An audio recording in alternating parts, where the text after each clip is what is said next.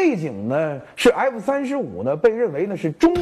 隐形战机啊，本身的这个定位和它现在所出现的这些问题就形成了啊一个矛盾或者说是一个鲜明的对比。我们通过一个短片再来了解一下。按照美军设想，F 三五战机具有卓越的隐形能力和战斗性能。重约二十七吨的机体既可内置空对空导弹，也可外挂智能炸弹。而且，如果只装内置武器，其隐形能力会进一步增强。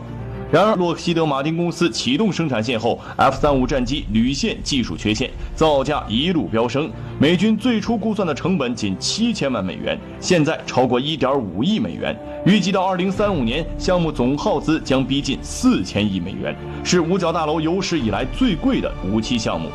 另一方面，F 三五战机的服役时间一推再推，由于未等测试结束就开工生产，F 三五战机频频接受返修和重新设计，生产进度拖沓不前。专家估计，按照现有进度，F 三五战机最早要到二零一六年才能服役，这将与它的首次试飞时间整整相隔十年。那么，在 F 三十五研发过程当中呢，美国人是始终处于主导地位，他们既希望呢将盟国捆绑到 F 三十五计划上，增加飞机订单。占据下一代军机的市场，同时呢，又不希望呢让盟友掌握更多的核心技术机密。那么问题来了，目前呢，这 F 三十五战机除了装备美军之外，订购的啊国家呢还有哪些呢？实际上，它联合研制的是八个国家，包括美国之外的话，还有你像以色列、澳大利亚、新西兰、加拿大。荷兰等等这些国家。嗯，另外呢，从它订购来看的话，这些国家首先你是优先的。如果因为你是参与整个研发过程中，如果你要买的话，可以优先。但是有些国家是因为他当时承诺这个飞机顶多五千万、八千万美金一架，所以的话他们是买得起的。后来发现已经涨到了一点五亿美金一架的话，这些国家好多就说我不买了，买不起了，投资就投资了。我只是说到时候挣了钱，我分点钱拉倒。对，就是这样一种思路。嗯，但是这里面也有一些国家是特例。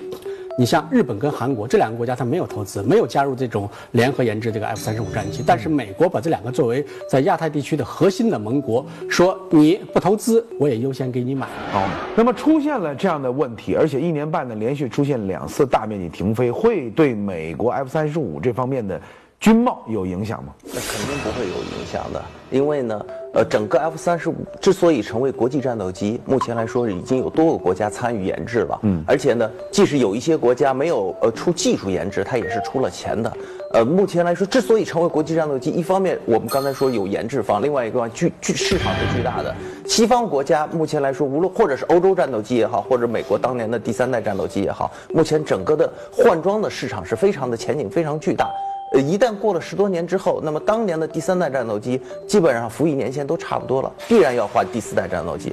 而唯一的第四代战斗机或者是呃第五代战斗机的话，就 F 二十二生产线已经停了，你只有 F 三十五可以选，所以尽管有问题，但是它的市场前景还是不用担心的。嗯，那 F 三十五出事儿了，竟然丝毫不影响日本的部署计划。通过一个短片，我们来详细。了解一下情况。据日本时事通讯社报道，日本防卫大臣小野四五点与青森县知事三村伸武举行会谈，向其说明在自卫队三泽基地部署及使用 F 三五战斗机的方针。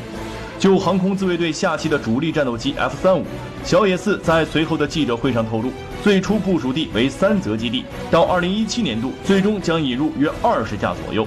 日本政府在二零一三年十二月制定的中期防卫力整备计划中，明确至二零一八年为止将采购二十八架 F 三五战斗机。另一方面，就暂时部署在美空军三泽基地的无人侦察机全球鹰，青森县当地居民一直对其安全性表示担忧，而日本防卫省方面仅表示将要求美国确保安全性。